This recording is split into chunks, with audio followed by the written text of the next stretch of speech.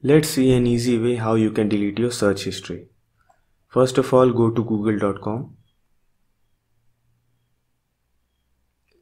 On the Google web page, you can see on the right, uh, top right hand side corner your profile icon. Click on your profile icon.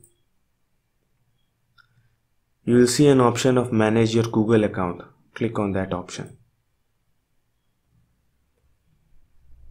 In the Uh, myaccount.google.com page, on the left hand side you will see an option of data and privacy. Click on that. Scroll down and you will be able to see an option web and app activity. Click on that option.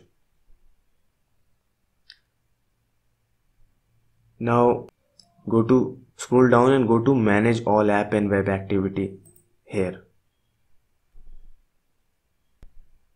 As you can see this is displaying all my search results and what pages I have visited all the way back to 2011 and before that. So I can individually delete this uh, by clicking on the individually delete search results by clicking on the cross tab here. It says deleted that search result. You can close this now to delete all of this history at once go to this delete option and click all time. Click uh, select all this click next.